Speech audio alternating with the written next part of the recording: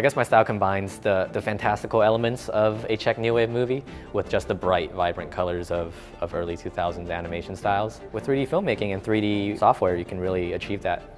I'm Derek Chan. I'm a second year master student at NYU Tandon's Integrated Design and Media program.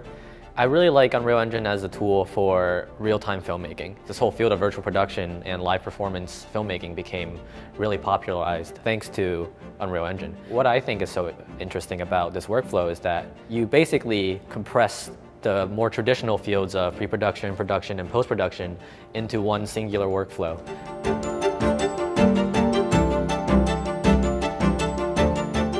I've been using the Asus ProArt StudioBook 16 OLED. It's almost like a perfect merge of portability and still retaining such great and beautiful graphics. The fact that I can just pop open my Asus StudioBook on my bus ride back, but still see such great color from that screen is very helpful. And the fact that you can get such great output in real time with minimal effort, I was very lucky to have it. In the lab, we have two very gorgeous displays. And you know, volumetric capture, it exports out voxels, not pixels. The fact that we can visualize that on a big, high quality screen makes the voxels look so much more vibrant. High contrast scenes of the visuals that I make look especially beautiful. I didn't realize I was missing such a wide array of, of color depth before I, I saw my, my work on a proper monitor. The fact that as a student in this program, you're able to have access to pretty much the same equipment that they use in the field is, is really insane.